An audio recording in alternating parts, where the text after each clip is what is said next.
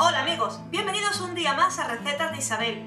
Si habéis visto mi anterior receta, el helado de yogur, que por cierto abajo en la cajita de información os dejaré el enlace para que la podáis ver, la receta de hoy os va a venir de lujo. Se trata de una salsa de chocolate caliente para helados. Bueno, para helados o para cualquier otro postre, ya que el chocolate pega con todo. Es muy rápida de hacer, facilita y os va a gustar un montón. Si queréis saber cómo hacerla, acompañadme a la cocina.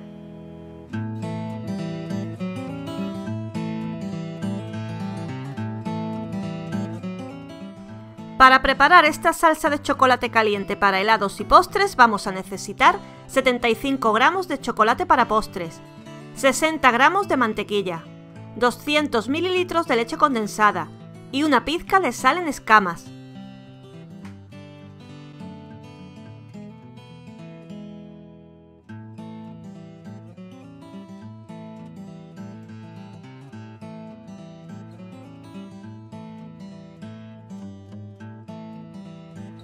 Lo primero es poner un cazo al baño María en el que pondremos el chocolate y la mantequilla.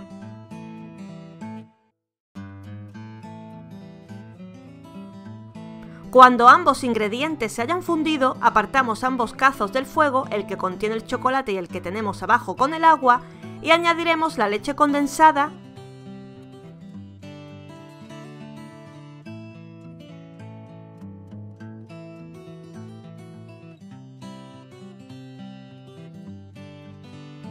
y las escamas de sal.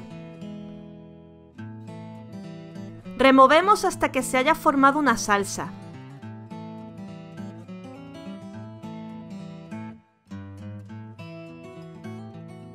Y de esta manera tan sencilla tendremos lista para usar nuestra salsa de chocolate caliente. Se usa recién hecha, ya que a medida que vaya enfriando se volverá más sólida, si la quieres tener para varias ocasiones, guárdala en la nevera y antes de usarla, vuelve a calentarla para que se funda. Comenta esta receta, like y suscribe, sin olvidar hacer clic en la campanita para recibir las notificaciones del canal. Abajo en la cajita de información puedes ver los enlaces al blog tanto de esta receta para poder verla escrita como de la web para ver muchas más recetas y también te voy a dejar el enlace de mi helado de yogur en el que puedes usar esta salsa, le va genial.